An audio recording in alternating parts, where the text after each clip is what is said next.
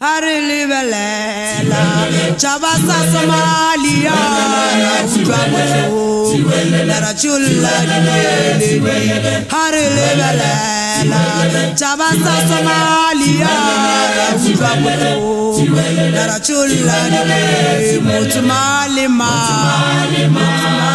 mutumalima mutumalima liyabitsobohle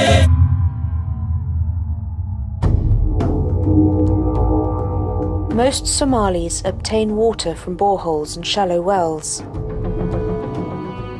Shallow wells are typically located within settlements where water quality is often polluted due to nearby latrines seeping their contents into the groundwater. This causes frequent outbreaks of water related diseases, such as cholera and diarrhea. Disinfection refers to selective destruction of disease causing organisms in the water supply. The most widely used process to disinfest water is chlorination. Other processes include ultraviolet or UV light, ozonation, or reverse osmosis. Several tests and pre treatments have to be conducted to ensure effective chlorination such as turbidity and pH tests. The following videos will take you through the different steps of the chlorination process.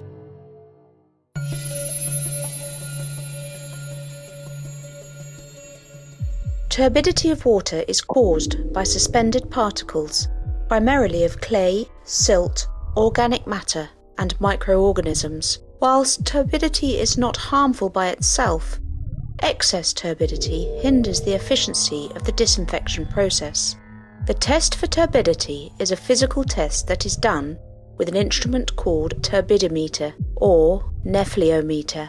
The objective of the test is to determine the amount of suspended materials in the water. The Water Standards establishes that the limit turbidity for an efficient water treatment should be less than 5 NTU with a tolerance of up to 20 NTU in emergencies. To conduct the turbidity test, the following equipment and materials are necessary. 1. A turbidimeter or nepheliometer that is usually found in the Delagua kit or the Wagtech kit. 2. One beaker or jar with raw water. 3. White paper. 4 raw water from the source. The technician will now explain the different steps to conduct the turbidity test. The procedure for conducting turbidity test is as follows. First, you take the turbidity meter, the turbidity meter, which I told you, as I told you before, it is in three pieces. You join it into one piece. The second uh, step is you need to place the white paper, this white paper below the turbidity meter so that it is just next to the cross. This cross, as I showed you, this is the indicator where you have to observe. Then take the sample of water which you are going to tab determine the turbidity. Take that sample. Then fill in that water in the turbidity meter as you observe the cross until it is it disappears. That's that you cannot see the cross. And then you can have a look at the cross again to ensure that it has disappeared. No, I can see it a bit, sorry. It has not disappeared completely. I can see it a bit. It's gone. It just disappeared. And then you look at your measurement and then it, here it is seen that the measurement is between 20 and 25 is just very close to 20 we can say that is our measurement of turbidity so you take your reading based on the closeness of which figure is close to the other one. So for this purpose, for a purpose here, it is very much close to 20 and we can say our NTU, the NTU measurements of turbidity here, the result is 20. The technician has found that the water is too turbid, 20 NTU. This means that the water treatment might not be efficient. We shall then need to undertake pre-treatment such as sedimentation, flocculation, or filtration to reduce the level of turbidity to less than 5 NTU before any disinfection treatment.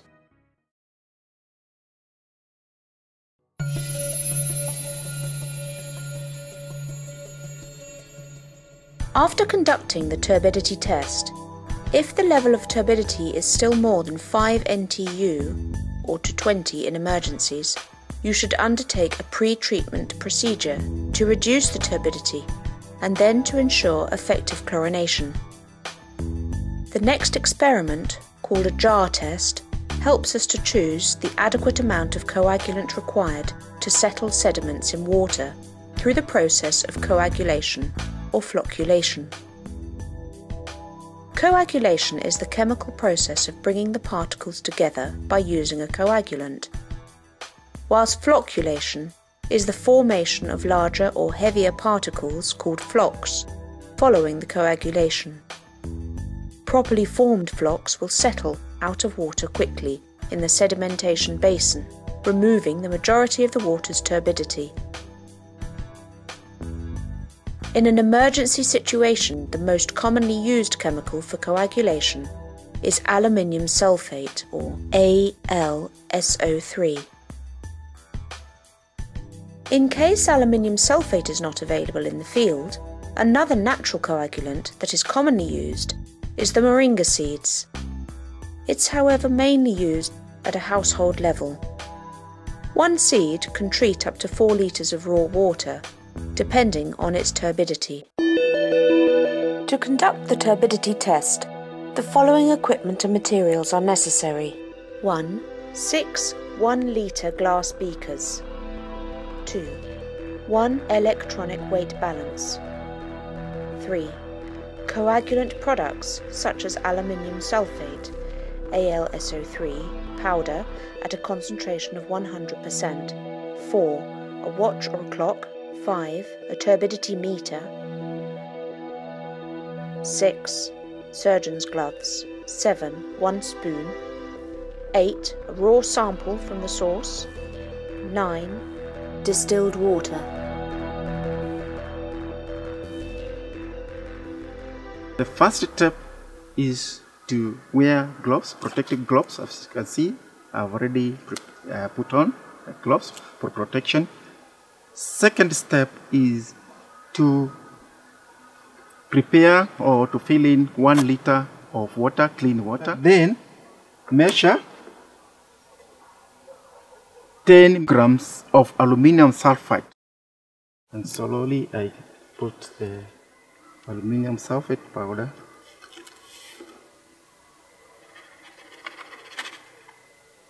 okay then after that cover the and then shake it like one minute to make sure that the solution is made for thorough mixing. The third step is filling these beakers with one liter of water from the source. That's one liter of water, raw water to be treated. Fill all the rest the same and then we go to the next step. Once the beakers are filled with one liter water, we need now to dose these uh, the different beakers, different dosages of aluminium sulfate solution. The first beaker, we are going to dose one milliliter of aluminium sulfate solution. The second beaker will dose it with 3 milliliter. Third beaker we dose 5 milliliter. The fourth beaker, we dose it with 7 milliliter. The fifth beaker, we dose it with 9 milliliter of aluminum sulfate solution. And the last one, that is the sixth beaker, we dose it with 11 milliliter of aluminum sulfate solution. The next step is to stir the six beakers for one minute rigorously. One minute rigorously. Like this.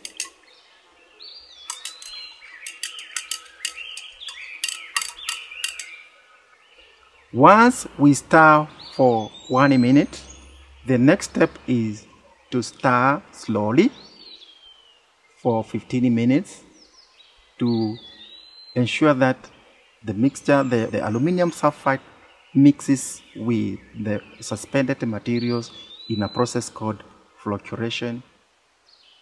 After stirring for 15 minutes, allow for a period of between 30 to 60 minutes to allow contact time uh, of aluminum sulfide and the suspended materials to come together and settle down.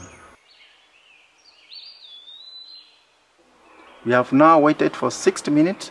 The next step will be to determine the turbidity of each solution of all the six speakers. Procedure is as follows. We use the turbidity meter, hold gently the beaker for the first dose of and then pour the water as you watch the cross down there to just determine which level of the water will be and the cross disappears. Remember to hold the beaker gently so that you don't disturb the settled uh, sediments. The cross has just disappeared and the turbidity of water is still 40. Is 40. That means nothing much has changed in the for the first beaker. Then we will repeat the process in all the remaining beakers, determining the turbidity for all the six beakers. Now we have determined the turbidity of all the six beakers. As you can see, the first beaker, the turbidity is 40 NTU, the second is 8, the third is 6, the fourth is 5, less than 5, the sixth is 7, and the last one is 8. You can see the turbidity test, uh, from the turbidity test, the level of NTU goes down up to the optimum level and then up again. That the level at the point where it is minimum, that is the optimum level of dosage. That is the optimum dosage which is required. What happens is, if you have less aluminum sulfate in, in, the, in the water, the formation of flocs is far much less. If you have more in the, in the water solution, it means that the aluminum sulfate interferes with the settlement process. And that means the settlement does not take place as required. The technician has found that the optimum amount of aluminium sulfate at a concentration of 1% is 7 ml per litre. Let us now calculate the quantity of 100% aluminium sulfate powder needed to pre-treat a water tank of 15 cubic metres. First, we must calculate the amount needed for 1 litre.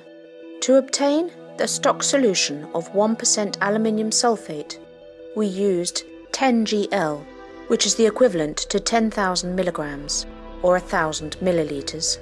To obtain 7 mil, we used cross multiplication as follows 7 mil times 10,000 milligrams equals 1,000 millilitres.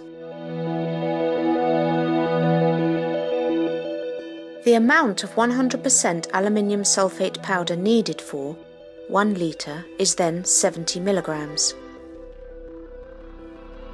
Now we need to convert our 15 cubic meters into litres. If 1 cubic metre is equal to 1000 litres, then we can work out that 15 cubic metres is equal to 15,000 litres. Then, if for 1 litre of water we need 70 milligrams of 100% ALSU powder, how much would we need for 15,000 litres? By simple multiplication, we can work out that we would need 1,050,000 milligrams, or which is the equivalent to 1050 grams or 1.05 kilograms of 100% aluminium sulfate powder. We now have the amount of aluminium sulfate needed to reduce the turbidity of our 15 cubic metre tank. However, to ensure the effectiveness of the process, the pH of the water should be between 6 to 7, which is the pH we are looking for for water consumption. We will then need to conduct a pH test with our water sample.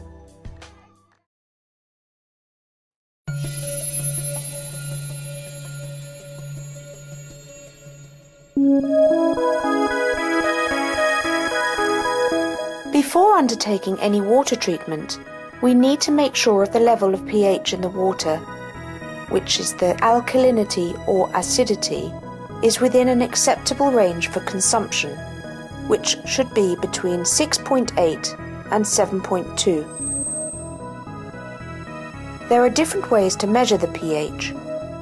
1. The easiest and cheapest is to measure the pH with litmus paper. 2. The pH can also be measured using a pool tester. 3. However, the best accurate methods is with an electronic pH meter, which is available in laboratories but difficult to find in the field. To conduct the pH test using the litmus paper, the following equipment and materials are necessary. 1. Litmus paper 2. Surgeon's gloves 3. Water sample from the source the technician will take you through the different steps to conduct the pH test using litmus paper. Start with, you need to put the gloves for protection purpose. The first procedure is you get the beaker where you are going to put water for uh, analysis, for testing for pH.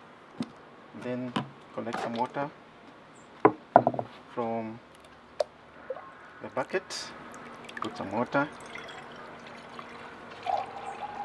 at least to a level which you can see.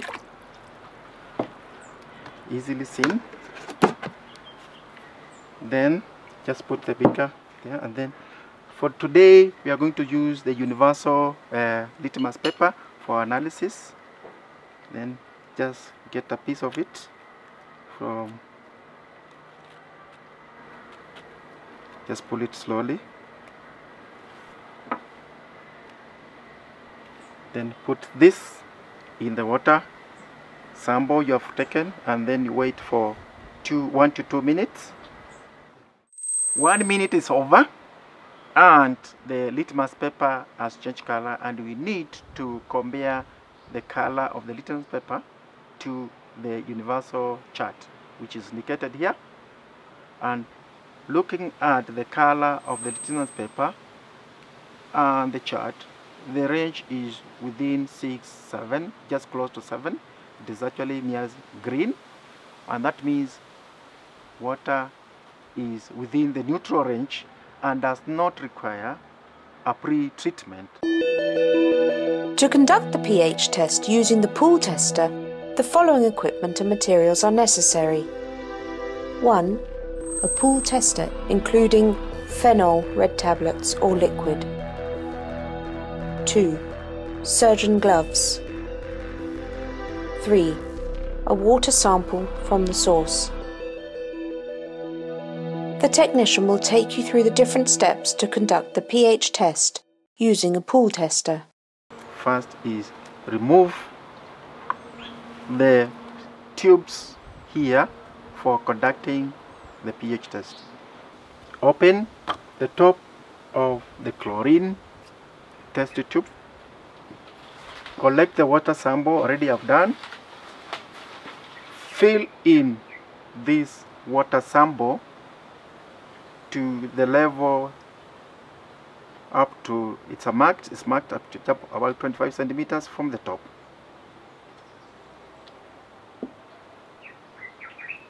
then from the kit take solution 4 which is here and it is the chlorine neutralizer and put one drop one drop of chlorine neutralizer into the water sample. One drop this is it one drop one drop is there. You already have one drop. Then place water down again on the table cover the chemical place it back to the uh, and then take solution 2 this solution 2 this is actually the pH tester. pH tester and the pH tester you put five drops into the same water sample five drops. One two three four five. Five drops. Then cover place it back. Then take the cover for the test tube and then put it back. And then mix the solution. You mix mix it until the it's, it's fully mixed. Well done. And then you look at the gauge of pH gauge and compare the color of water with the gauge which is written here. And as you can see that gauge is the water the color is within the 7 scale of 7 which is neutral scale neutral point. That means this water does not need any pre-treatment before it is any further treatment is done The experiment showed a pH level of 7.2, which is within the neutral range. In case you have a level of pH lower than 6.8, you must undertake pre-treatment of the water.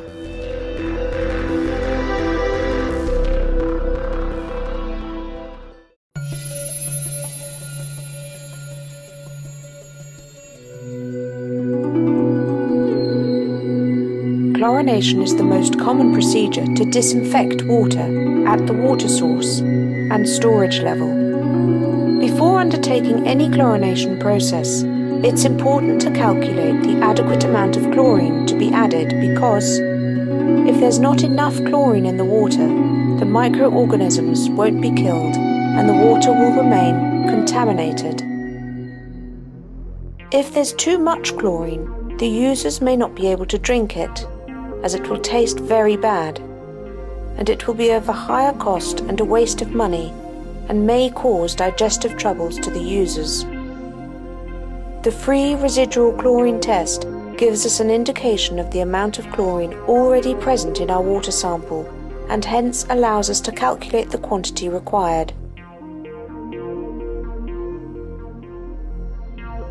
Chlorine, used in the disinfection process, normally is in the form of hypochlorite or free chlorine gas. The most commonly used product in water treatment at water source and storage level in the humanitarian sector is calcium hypochlorite or CaOCl2, also known as HTH, with a concentration of 65 to 70%. The 12% sodium hypochlorite, or NaOCl, especially in forms of tablets, is also used. To conduct the free chlorine test, the following equipment and materials are necessary. 1. Six containers in which the volume can be measured of pre-treated water with a level of turbidity less than 5 NUT and pH between 6 to 7.2. 2. 1 pool tester. 3. Calcium hypochlorite at a concentration of 65 to 70%, also called HTH. 4. 1. Electronic weight balance. If you don't have an electronic balance, you can use a tablespoon that contains approximately 15 grams of the powder. 5. 1 watch or a clock. 6. Surgeon's gloves or latex gloves. 7. Distilled water. The technician will take you through the different steps to conduct free residual chlorine test. To conduct chlorine test, first it's necessary to create a solution of 1% HTH powder that we usually use. The 1% solution means creating a solution that uh, has a concentration of 1% chlorine. The first thing to do is to know the concentration of HTH that we are using by checking the manufacturer sticker on the product. We will use, for this test, we are going to use HTH that has a concentration of 65% according to the manufacturer. The HTH will, should be stored in a dry, cool place, not exposed to sunlight. To produce a 1% solution of HTH or a 65 concentration of chlorine, the calculation is as below. 100% solution is equivalent to uh, 10 grams of 1 liter solution. It is saying that, it's like saying that we need 10 grams of 100 over 100 of 100% solution. For 65% solution, the concentration being less, more product will be needed. Therefore, to make 1% solution of HTH of 65% uh, percent, concentration, we need X milligrams or grams of HTH. X equals to 10 grams of 100 over 65 percent solution, which gives a value of 15 grams to be used for preparation of the solution.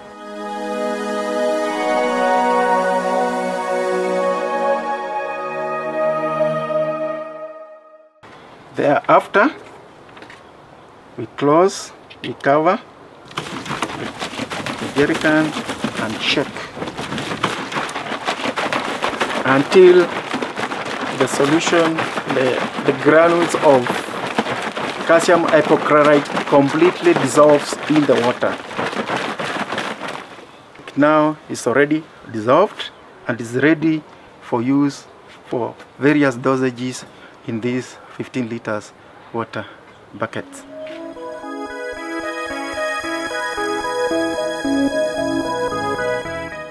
Now we are going to dose various dosages of chlorine in all these six buckets. First of all, you get the chlorine solution, that is uh, the 1% solution, put a bit of it in a beaker like that, so that you can use the syringe to get the quantity you require. The first quantity which is required is 1 milliliter. The second one is 1.5. The third one is 2. 2 milliliters. The fourth one is 2.5.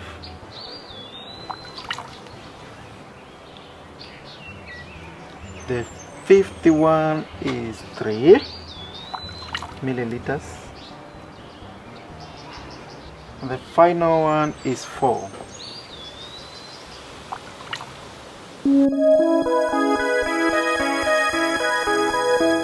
The next step will be to stir this uh, water for one minute so that we ensure that it is fully well mixed.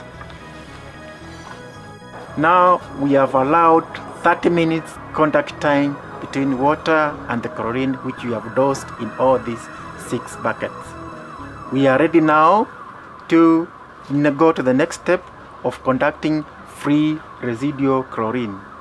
And then what we are going to use is the pool tester. This is the uh, equipment or the tester we are going to use to conduct the free residual chlorine. First, you take the DPD tablet, remove one tablet from the DPD pack, put it inside the test tube, then crush it.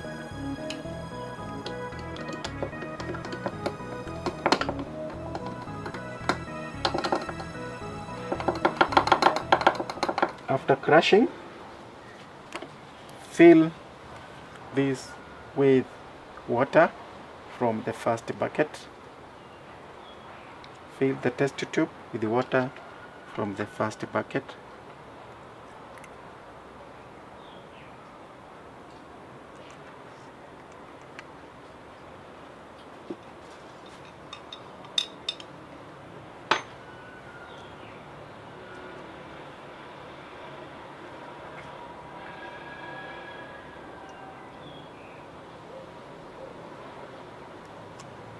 then you cover it cover it then we need to shake the solution so that it is homogeneous. And then make sure that it is well shaken check the results. The residual chlorine is within that range. As you can see here, the range of free residual chlorine ranges from 3.0 to 0.1. If the range is above, it is within um, 0.3, 0.1, 0. up to 0.5. That is the range which is recommended for proper chlorine dosage. Now we repeat the same process for the remaining five buckets and take the measurements. The technician has measured the free residual chlorine for each bucket, and the measurements are as follows. First bucket 0.1 milligrams per litre. Second bucket 0.2 milligrams per litre. Third bucket 0.3 milligrams per litre. Fourth bucket 0.9 milligrams per litre. Fifth bucket 1.33 milligrams per litre. Sixth bucket 1.67 milligrams per litre. As per WHO recommendation for drinking water, we have to deliver water that contains 0.3 to 0.5 milligrams per litre of free chlorine.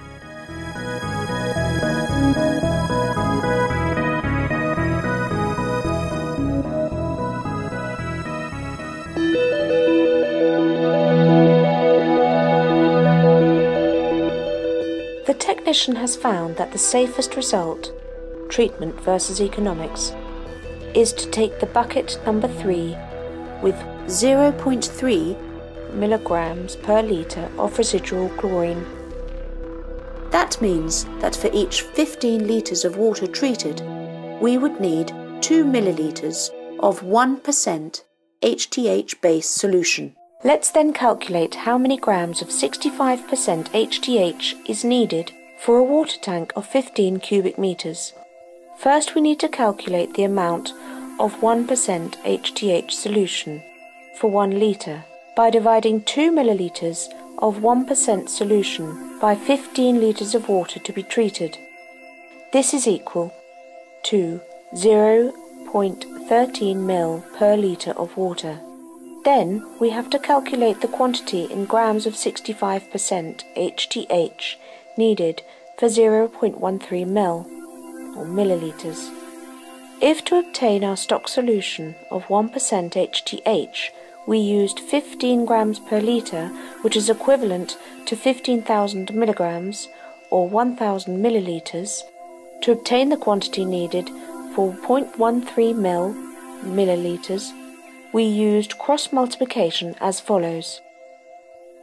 X equals 0.13 millilitres times 15,000 milligrams divided by 1,000 millilitres. X equals 1.95 milligrams. The amount of 65% HTH power needed for 1 litre is then 1.95 milligrams. Finally, if our tank has 15 cubic meters, which is the equivalent to 15,000 litres, we use simple multiplication as follows. X equals 1.95 milligrams times 15,000 litres. The amount of 65% HTH required to treat our water tank of 15 cubic metres is then 29,250 milligrams, or which is the equivalent of 29.2 grams.